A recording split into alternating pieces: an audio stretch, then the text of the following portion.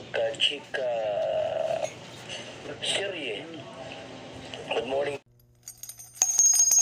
Bago po tayo magsimula, huwag niyo po ang kalimutan i-subscribe si Val Santos Matubang at Kalinga Prab. Ayan po sa pagpupursigi nga ni Kuya Val na um, gusto niyang gumaling itong si Vina at gusto niyang matulungan sa paraang um, alam niya na ikakabuti nila Vina Morales at lalong-lalo na kay Lola Rufina ay ito, ito na nga guys yung pinakahihintay nating lang. tuwa nga itong si Kuya Val nung nakita niya nakikipagbiruan itong si Vina Morales. At ayan Kuya Val, God bless sa'yo dahil may isang tao ka naman na binago mo ang buhay. Ano report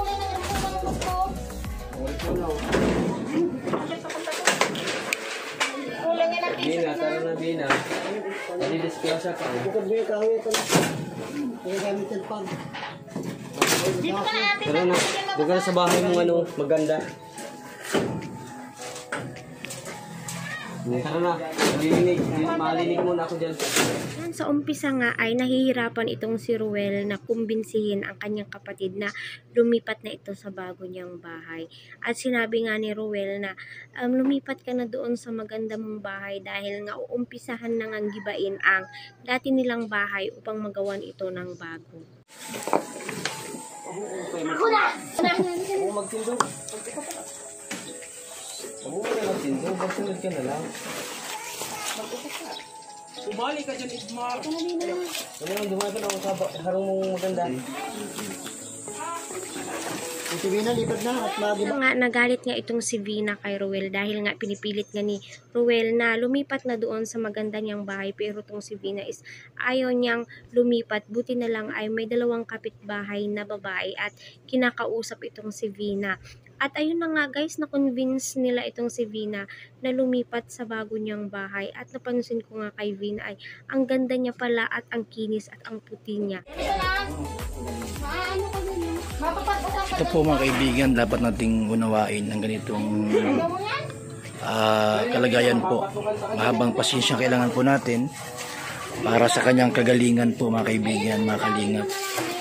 Ito, may dalawang babae po na kapitbahay po ang sinuyo natin para siyang magkaon Dito ako lalong napabilib kay Kuya Val sa mga sinabi niyang mga kataga tungkol kay Vina Morales na mas habaan pa daw yung pasensya dahil nga kailangan ng gumaling o sumigla na itong si Vina. ba hindi nga sinukuan ni Kuya Val nung first pa siyang pumunta doon na nagalit nga itong si Vina dahil nga nililinis ni Kuya Val yung pagkainan niya. Yun nagalit nga si Vina sa kanya, di po ba? Pero itong si Kuya Val is porsigido talaga siyang um, gumaling itong si Vina Morales at ginagawa niya nga lahat ng paraan upang sumigla ito dahil nga may mga plano siya para kay Vina para nga hindi na ito ma-depress at itong si Vina guys para sa akin lang ay dapat ay may palagi siyang makakausap para may pag may pagsabihan siya ng kanyang mga problema para hindi niya lang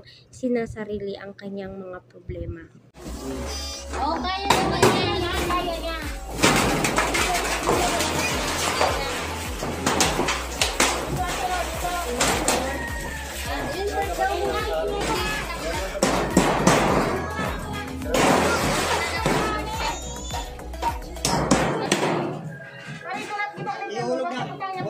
Ngang natuwa nung nakita nila itong si Vina na nakapaglakad na at nakipagbiruan nga sa kanyang kapatid. Di po ba? Yung saya ng dulot nga ni Kuya Val sa buhay ni Vina ay ibang-iba.